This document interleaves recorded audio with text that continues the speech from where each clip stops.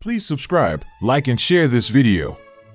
Thank you for your support. To. U.S. Code Chapter 30, Operation and Maintenance of Capitol Complex.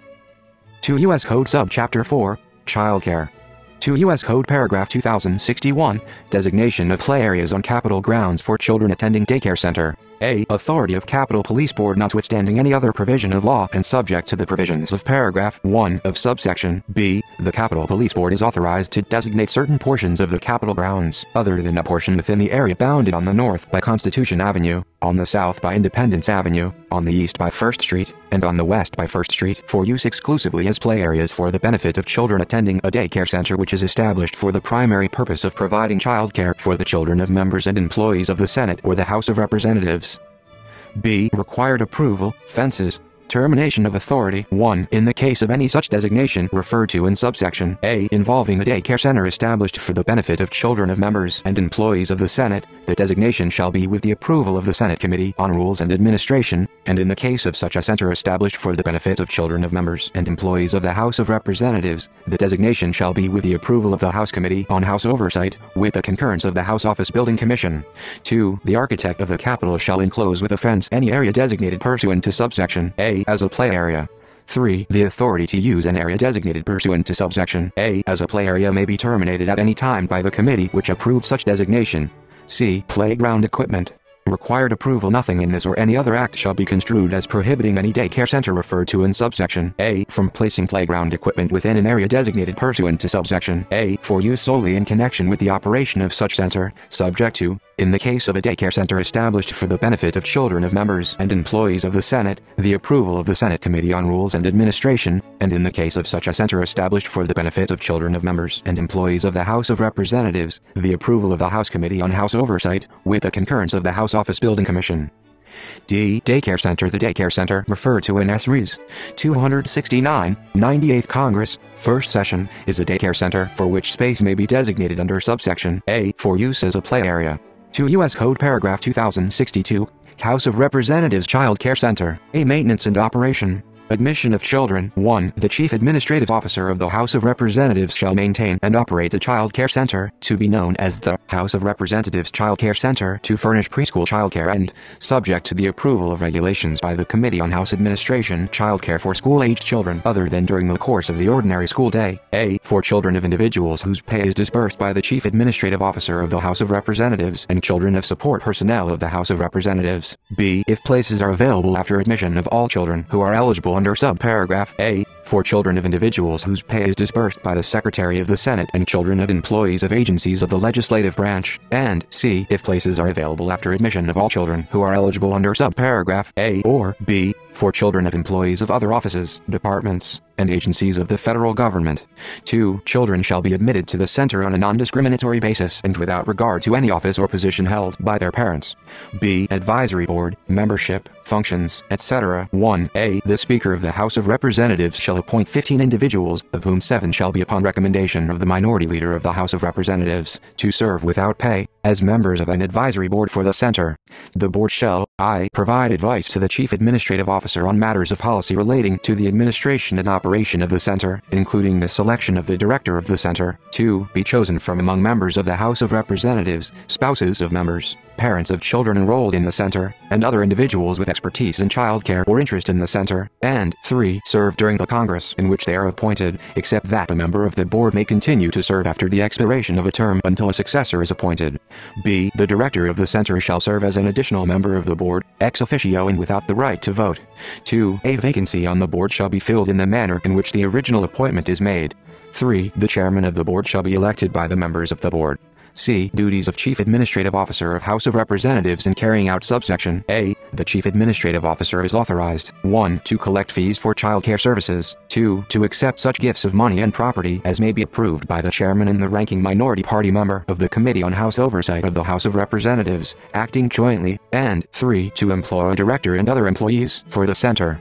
D. Salaries and expenses Funding limits 1. There is established in the Treasury of the United States a revolving fund for the House of Representatives to be known as the House Child Care Center Revolving Fund, hereafter in this section referred to as the Fund, consisting of the amounts received under subsection C and any other funds deposited by the Chief Administrative Officer of the House of Representatives from amounts received by the House of Representatives with respect to the operation of the center, except as provided in paragraphs 2 and 3. The fund shall be the exclusive source for all salaries and expenses for activities carried out under this section Section 2. With respect to employees of the Center, the House of Representatives shall make government contributions and payments for health insurance, retirement, employment taxes, and similar benefits and programs, including the subsidies provided on behalf of employees of the Center as a result of reductions in the amount of tuition otherwise charged with respect to children of such employees under paragraph 4 in the same manner as such contributions and payments are made for other employees of the House of Representatives. 3. The House of Representatives shall make payments from amounts provided in Appropriations Acts for salaries and expenses of the Office of the Chief Administrative Officer for the following activities carried out under this section. A. The payment of the salary of the Director of the Center, and, at the option of the Chief Administrative Officer during an emergency situation, the payment of the salary of other employees of the Center. B. The cost of training classes and conferences for individuals employed by the Center in connection with the provision of child care services, together with the cost of travel, including transportation and subsistence incurred incurred in connection with such classes and conferences. C. During an emergency situation, the payment of such other expenses for activities carried out under this section as the Chief Administrative Officer determines appropriate. 4. In the case of a child of an employee of the Center who is furnished care at the Center, the Chief Administrative Officer shall reduce the amount of tuition otherwise charged with respect to such child during the month by the greater of A. 50%, or B. Such percentage as may be necessary to ensure that the total amount of tuition paid by the employee with respect to all children of the employee who are furnished care at the Center during the month does not exceed 1,000 dollars E. Fund as category of allowances and expenses. The fund shall be treated as a category of allowances and expenses for purposes of Section 5507 of this title. F. Definitions as used in this section. 1. The term, member of the House of Representatives means a representative in, or a delegate or resident commissioner to, the Congress. 2. The term, agency of the legislative branch means the office of the architect of the Capitol, the Botanic Garden, the Government Accountability Office, the Government Publishing Office, the Library of Congress, the Office of Technology Assessment, the Congressional Budget Office, and the Copyright Royalty Tribunal, and 3. The term, support personnel means, with respect to the House of Representatives, any employee of a credit union or of the architect of the Capitol, whose principal duties are to support the functions of the House of Representatives. To U.S. Code Paragraph 2063, Senate Employee Child Care Center. A. Applicability of provisions The provisions of this section shall apply to any individual who is employed by the Senate Daycare Center, known as the Senate Employee Child Care Center and hereafter in this section referred to as the Center established pursuant to Senate Resolution 269, 98th Congress, and Section 2061 of this title. B. Employee election of healthcare insurance coverage Any individual described under subsection A who is employed by the center on or after August 14, 1991, shall be deemed an employee under Section 8901 of Title V for purposes of health insurance coverage under Chapter 89 of such title. An individual described under subsection A who is an employee of the center on August 14, 1991, may elect coverage under this subsection during the 31-day period beginning on August 14, 1991, and during such periods as determined by the Office of Personnel Management for employees of the center employed after August 14, 1991.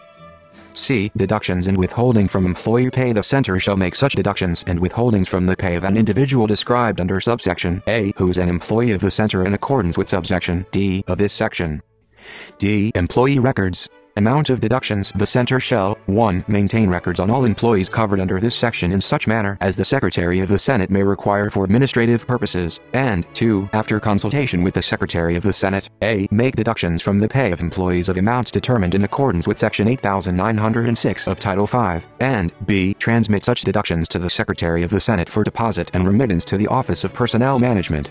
E. Government contributions Government contributions for individuals receiving benefits under this section, as computed under Section 8906 of Title V, shall be made by the Secretary of the Senate from the Appropriations account, within the contingent fund of the Senate, miscellaneous items. F. Regulations The Office of Personnel Management may prescribe regulations to carry out the provisions of this section. 2 U.S. Code Paragraph 2064, Senate Employee Child Care Center Employee Benefits.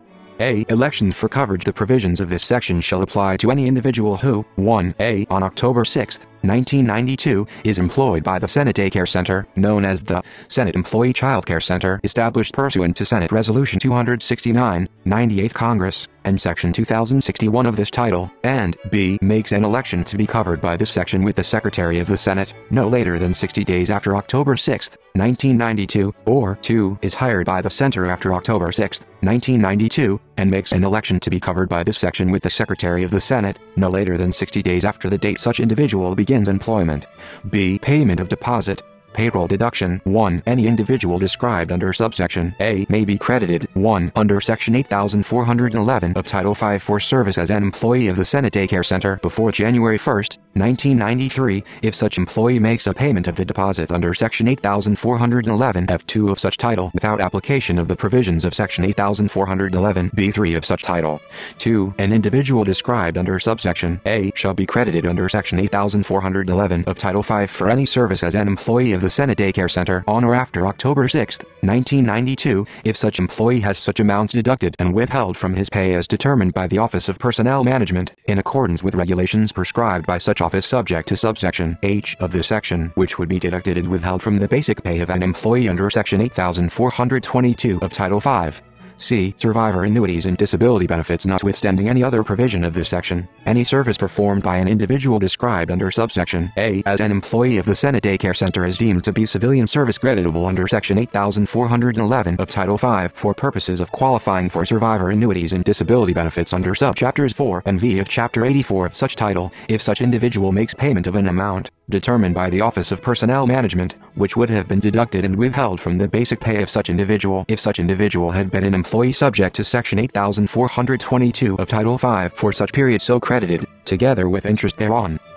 D. Participation in Thrift Savings Plan. An individual described under subsection A shall be deemed a congressional employee for purposes of Chapter 84 of Title 5 including subchapter 3 thereof and may make contributions under Section 8432 of such title effective for the first applicable pay period beginning on or after October 6, 1992. E. Life insurance coverage. An individual described under subsection A shall be deemed an employee under section 8701A3 of Title V for purposes of life insurance coverage under Chapter 87 of such title. F. Government contributions Government contributions for individuals receiving benefits under this section, as computed under sections 8423, 8432, and 8708 2 shall be made by the Secretary of the Senate from the appropriations account, within the contingent fund of the Senate, miscellaneous items. G. Certification of creditable service The Office of Personnel Management shall accept the certification of the Secretary of the Senate concerning creditable service for the purpose of this section. H. Payment to center of amounts equal to federal tax on employers 1. Subject to the provisions of paragraph 2, the Secretary of the Senate shall pay such amounts to the Senate Daycare Center equal to the tax on employers under section 3111 of Title 26 with respect to each employee of the Senate Daycare Center. Such payments shall be made from the appropriations account, within the contingent fund of the Senate, miscellaneous items. 2. The Senate Daycare Center shall provide appropriate documentation to the Secretary of the Senate of payment by such center of the tax described under paragraph 1 1. Before the Secretary of the Senate may pay any amount to such center as provided under paragraph 1. I. Administrative provisions The center shall 1. Consult with the Secretary of the Senate on the administration of this section. 2. Maintain records on all employees covered under this section in such manner as the Secretary of the Senate may require for administrative purposes. 3. Make deductions and withholdings from the pay of employees in the amounts determined under sections 8422, 8432, and 8707 of Title V. And 4. Transmit such deductions and withholdings to the Secretary of the Senate for deposit and remittance to the Office of Personnel Management. J. Regulations The Office of Personnel Management may prescribe regulations to carry out the provisions of this section. 2 U.S. Code Paragraph 2065, Reimbursement of Senate Daycare Center Employees. A. Cost of training classes, conferences, and related expenses notwithstanding Section 1345 of Title 31, the Secretary of the Senate may reimburse any individual employed by the Senate Daycare Center for the cost of training classes and conferences in connection with the provision of child care services and for travel, transportation, and subsistence expenses incurred in connection with the training classes and conferences. B. Documentation The Senate Daycare Center shall certify and provide appropriate documentation to the Secretary of the Senate with respect to any reimbursement under this section. Reimbursements under this section shall be made from the appropriations account, miscellaneous items within the contingent fund of the Senate on vouchers approved by the Secretary of the Senate. C. Regulations and limitations Reimbursements under this section shall be subject to the regulations and limitations prescribed by the Committee on Rules and Administration of the Senate for travel and related expenses for which payment is authorized to be made from the contingent fund of the Senate. D. Effective date This section shall be effective on and after October 1, 1996.